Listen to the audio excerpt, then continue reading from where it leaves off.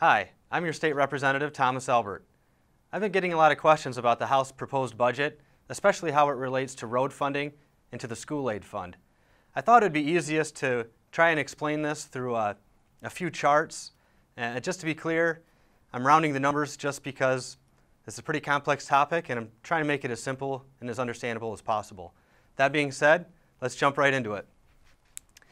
So, what's going on with the gas tax? And does all that money go to the roads? Well, right now we have a sales tax on gas and it's 6%. Of that sales tax, about 75% of it goes toward the school aid fund, and that's about $600 million.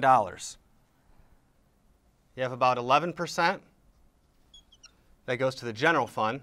That's money that the legislature has a lot of discretion on spending.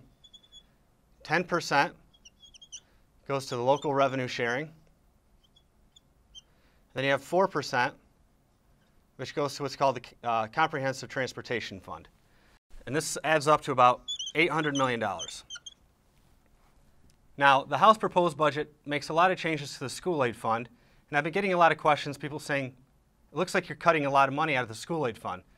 Well, if you look at the big picture, we're actually adding money. So uh, let me walk through how this works. So in the K through 12 budget, we have about 13.3 billion dollars that goes toward our schools. But what we're going to do, what we proposed, was we're going to take $500 million from the school aid fund that goes to higher ed, uh, and we're going to take that out of the school aid fund. So higher ed, uh, that funding is going to come out of the general fund. So now we're looking at plus $500 million.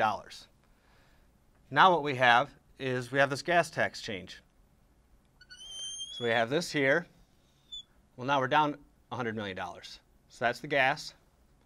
We're cutting that out. So that's minus 600 million. Gas tax.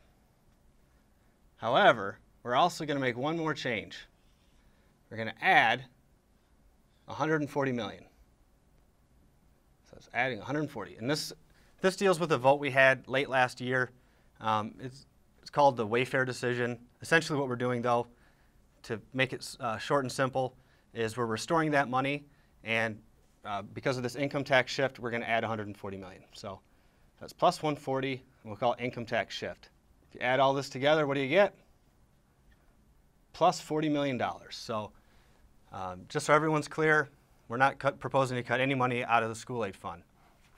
Just to make that even more clear, let's compare the current budget versus what the House proposal is. So currently, this year, we're spending $13.1 billion on the school aid fund for K through 12 education. The House is proposing 13.3, so it's a plus 200 million increase. Uh, if you look at higher ed, some people are like, well, you cut 500 million of higher ed there. No, we shifted that money to the general fund.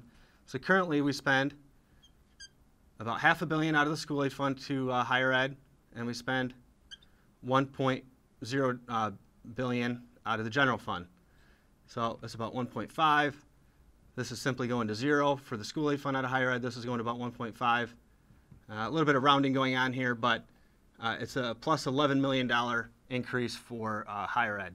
If you look at roads, this past current budget, um, it's $5 billion. We're increasing it to 5.4 of ongoing funding. Uh, this five uh, billion right here, uh, a decent chunk of that is one-time funding. That's why it doesn't quite look like such a substantial jump. But main thing is that money there is ongoing, so it's a really substantial change for the state of Michigan. So in summary, we're spending more on roads, we're spending more on education, and we're ending the shell game. Thank you for your time, and if you ever have any questions, please feel free to email or call my office.